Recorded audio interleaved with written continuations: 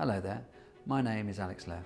I am an NIHR research professor working at UCL Queen Square Institute of Neurology. The most pressing problem for stroke survivors today is that they don't get a big enough dose of guided, practice-based therapy to help their recovery. One way to achieve this is by using intelligent apps that guide patients through a series of practice-based challenges. This approach is very specific, which means that patients tend to only get better at the things that they practice on. My team have been particularly focused on developing apps for people with aphasia. Aphasia is a disorder of language that has a major impact on people's lives and affects about one in three of those hospitalised with a stroke. Speech production, understanding what people are saying, reading and writing are all often affected together and each needs addressing with specific practice. We develop these apps in three stages. First, we create the app with the research team, software developers and patient users all working together to produce something that stroke survivors are keen to use on a regular basis. Then we test the app in a clinical trial. Lastly, and this has been the most challenging, we release the app into the real world but continue to collect data to see if it is working at scale. One such app that has been through these phases and has just been released is designed to help aphasic patients improve their ability to read it is called iReadMore. The iReadMore app is designed to improve single word reading at home at your own pace. It uses repeated pairings of written words, spoken words and pictures to train up reading. It's taken us about 14 years of research and development to get iReadMore ready and it's now available to download through the Apple App Store and Google Play Store. It contains a number of smart features that adapt the difficulty level to each user's specific reading abilities. This means the therapy continues to be challenging, but without becoming so difficult that it's frustrating for users. The app has also been gamified and co-designed by people with aphasia to make sure that it's both engaging and easy to use. Our research has shown that the iReadMore app can significantly improve reading speed and accuracy after just four weeks of daily practice. Now that the app is available, we are still going to continue to conduct research and develop the therapy further to make sure that it's as effective as possible. A more neglected consequence of aphasia is the loss of numerical processing, the understanding and use of spoken and written numbers, such as number identification, counting and simple arithmetic. My name is Dr. Carolyn Bruce and I'm a speech and language therapist who works with people with acquired communication difficulties. Numerical skills in aphasia are often overlooked and this is partly because they're seen as less important than other cognitive skills. For many of us, it's un almost unthinkable to be unable to speak, read or write. Being bad with numbers is more acceptable. Only recently we've considered how frustrating poor numeracy can be in daily life. We came up with the idea of our digital game when we realised that counting skills for some adults with aphasia mirrored the early phases of counting in children and that improvements in number naming depended on multiple practice at linking the number word with the Arabic digit. Swan builds on the phases of counting identified by Fuson and exploits the success of the tile matching type games in engaging the user. So the user begins with sequences starting at 1 and going up, then works with sequences that begin at any starting point before moving on to the number sequences that move forward or backwards. Hello, I'm Andrew Wilson. Most of people call me Andy. About six years ago, I had a stroke. I couldn't speak at all. And this side was like that. And uh, you, you hear people saying, after two years you're not to get any better.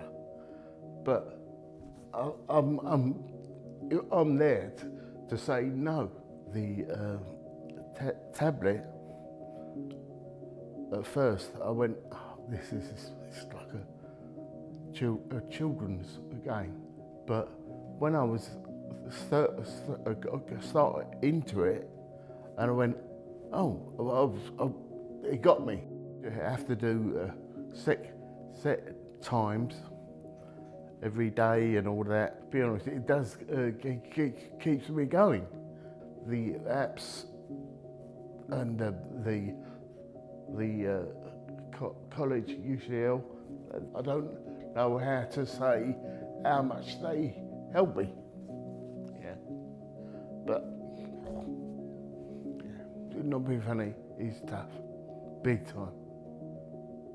But to me, um, all I, I would say to anyone out there had a stroke, don't give up.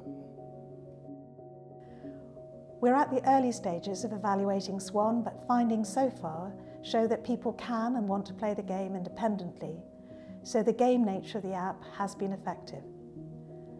Some people's numeracy skills significantly improved, but even when people didn't show a marked improvement on baseline tasks, some of them reported gains in confidence with numbers, and others reported a more positive, can-do attitude.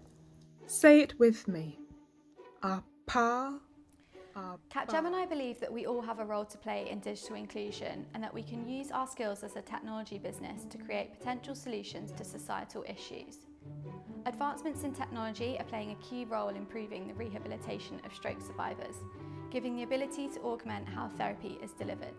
My name is Holly Brown and I initiated a project at Capgemini alongside a great team of data scientists and developers, where we have created a prototype of an app called Speech First that uses AI to give feedback to users as they complete their hmm. therapy. It has been a particular passion project for me as my dad had a stroke many years ago and I am therefore aware how devastating a stroke can be and how crucial therapy can be for recovery.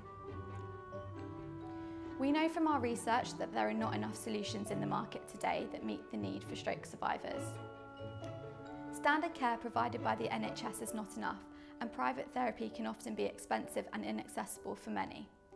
We don't believe that technology is the answer to all of these problems. However, what we do believe is that AI-powered applications can support the intensity and frequency of therapy, can augment how therapy is currently delivered, and can provide a way for therapists and clinicians to track their patients' progress over time. Not only this, but investing in these machine learning technologies can also give stroke survivors the autonomy to complete their therapy outside of formal sessions, giving them increased independence, which is something that is often lost for many after their illness, but so important for their recovery journey. I do. I do. I'm Rosemary Varley, Professor of Acquired Language Disorders in the Division of Psychology and Language Sciences at UCL. I have long-standing interests in post-stroke aphasia rehabilitation. In particular, my research group designs and tests digital therapies. A current project funded by the Stroke Association is testing a new intervention for sentence processing impairments. I believe that digital therapies permit the high-dose intervention necessary to stimulate the reorganization of a neurocognitive system damaged by stroke. They also give the person recovering from stroke autonomy in the delivery of therapy and reduce inequality in the provision of healthcare. People with aphasia and other post-stroke communicative impairments identify clear and intelligible speech as an important goal for recovery. In the development of digital therapies for word and sentence production, we need to work with expert coders and top technology companies to harness automatic speech recognition software that gives users fast and accurate feedback on speech accuracy. This is not a trivial challenge, for while the technology for recognizing typical speech has rapidly advanced, the speech of people with neurodisability is atypical, with errors, non-fluences, length and pause and sound durations. Speech First is an example of how expert programmers at Capgemini collaborated with service users, clinicians and researchers to produce a new digital resource. After initial pilot testing, the effectiveness of Speech First in delivery of high-intensity therapy is now being explored in a collaboration between UCL and Capgemini. Patients and clinicians at the UCL Aphasia Clinic are trialling the software and we will learn of its effectiveness in improving speech intelligibility and its acceptability to patients.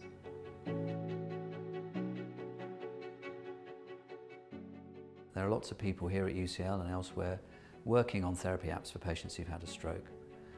I think one of the important points about having had a stroke and needing therapy is that you can continue to improve for many years and even decades afterwards. Most patients get most of their therapy on the NHS just in the first few months after their stroke. But what apps do is give them the chance to put them back in charge of their own therapy and they can choose uh, what pace, what intensity and when and where they can practice. And we've seen that patients can improve for many months, years and even decades after with this practice-based therapy.